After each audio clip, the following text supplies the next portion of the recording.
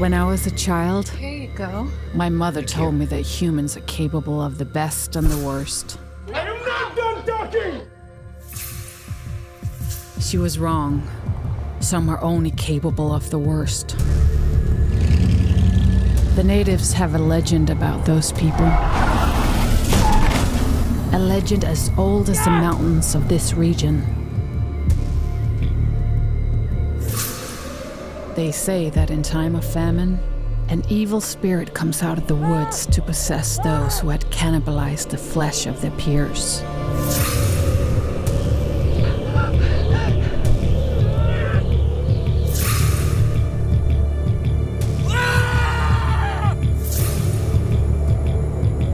It appears first in the dreams.